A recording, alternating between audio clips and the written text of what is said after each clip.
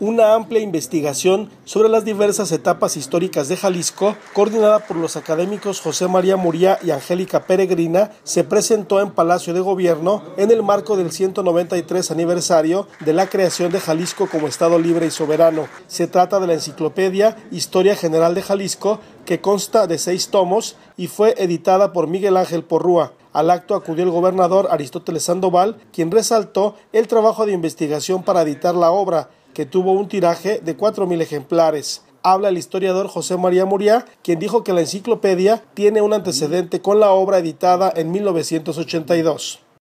Nos reconocíamos entonces, claro, igual que ahora, respetuosos herederos de lo escrito anteriormente y en mayor medida de la famosa obra de Luis Pérez Verdía, Historia particular del Estado de Jalisco, subtitulada desde los primeros tiempos de que hay noticia hasta nuestros días.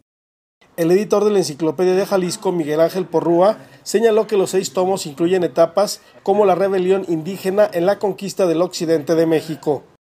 Jalisco nos dicen, cuyo nombre en náhuatl significa lugar sobre el arenal, ha estado presente en el vaivén de la historia patria. Fue epicentro de uno de los episodios más sangrientos de la conquista española comandada por Nuño de Guzmán, pacificada después de la guerra del Mixtón, donde los últimos reductos chichimecas se sublevaron contra los españoles. La villa de Guadalajara se convertiría en la capital del reino de Nueva Galicia.